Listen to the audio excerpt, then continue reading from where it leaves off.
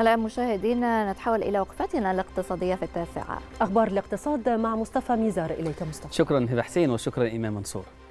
أهلا بكم مشاهدينا الكرام في جولة اقتصادية جديدة في نشرة التاسعة.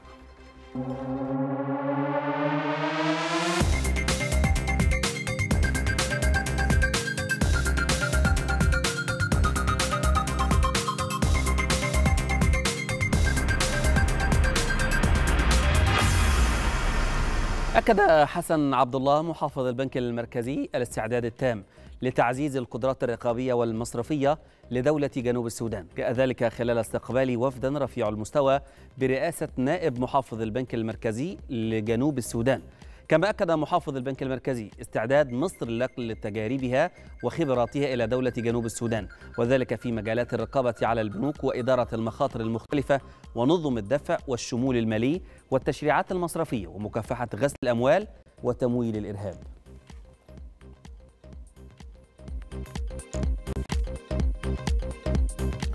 شهد رئيس الهيئة العامة أو المنطقة للمنطقة الاقتصادية لقناة السويس وليد جمال الدين الاحتفال بتدشين خط إنتاج غسالات الأطباق لأحد المصانع الصينية داخل المنطقة وذلك في إطار التعاون ما بين مصر مصر والصين التعاون الاقتصادي في منطقة السخنة المتكاملة والتابعة للهيئة. وخلال الاحتفال أعرب رئيس المنطقة الاقتصادية عن سعادته البالغة بتواجد الشركة بالمنطقة وتشغيل الخط الإنتاجي لغسالات الأطباق الجديد وذلك بهدف سد احتياجات السوق المحلي من الأجهزة المنزلية والتصدير للأسواق العالمية مشيرا إلى الدور الذي يلعبه الموقع الاستراتيجي للمنطقة الاقتصادية والذي يسمح بتيسير وبتيسير التصدير للمنتجات والسلع لمختلف الأسواق العالمية.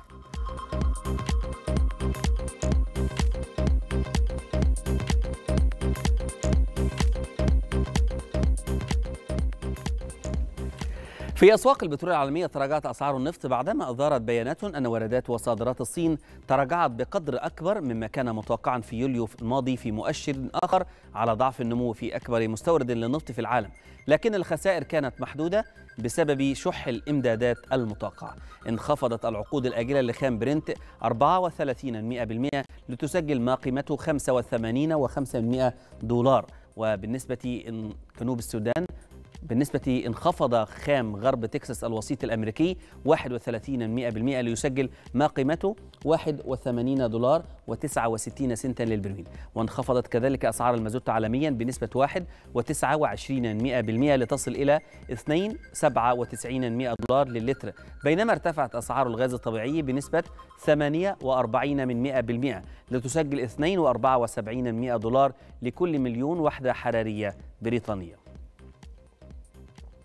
أكد مجلس الوزراء السعودي مواصلة المملكة تعزيز الجهود الاحترازية لمجموعة دول أوبك بلس الهادفة إلى دعم استقرار أسواق النفط العالمية.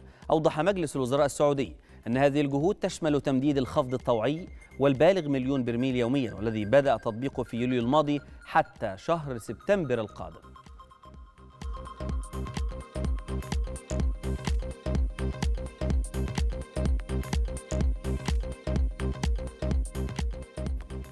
ذكرت وكالة موديز للتصنيف الائتماني أن القطاع المصرفي الأمريكي لا زال قويا رغم تخفيض تصنيف عشرة بنوك أمريكية. حذرت موديز من أنها قد تخفض تصنيف عدد من البنوك الكبرى الأخرى وقد تراجع العجز التجاري الأمريكي بشدة في يونيو مع تقليص الشركات من مشترياتها من السلع الرأسمالية الأجنبية.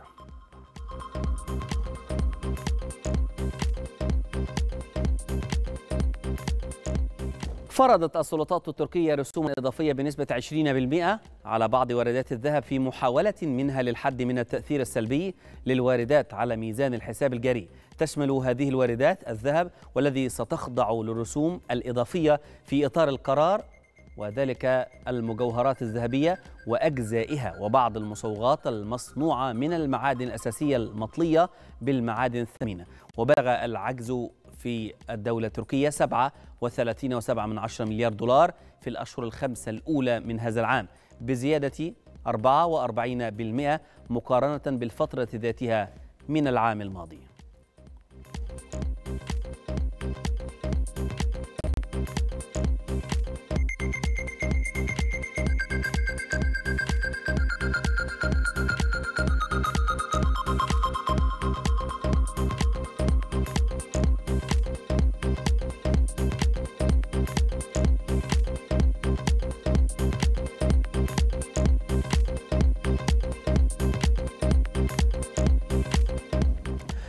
أعلنت وزارة التجارة الخارجية الفرنسية أن العجز التجاري في السلع سجل انخفاضا وصل إلى 54 مليار يورو في النصف الأول من العام الجاري مقارنة ب 89 مليار يورو في النصف الثاني من العام الماضي 2022 يرجع ذلك في الأساس إلى تراجع أسعار الطاقة. سجلت فرنسا عجزا غير مسبوق في عام 22 بقيمة 164 مليار يورو على مدار العام بأكمله والذي شهد بداية العمليات العسكرية الروسية في أوكرانيا وأزمة الطاقة العالمية.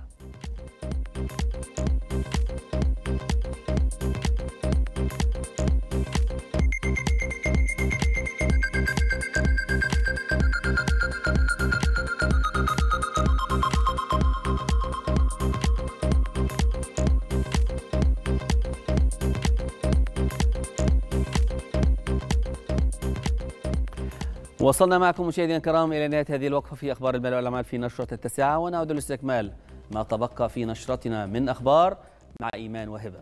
أشكرك مصطفى.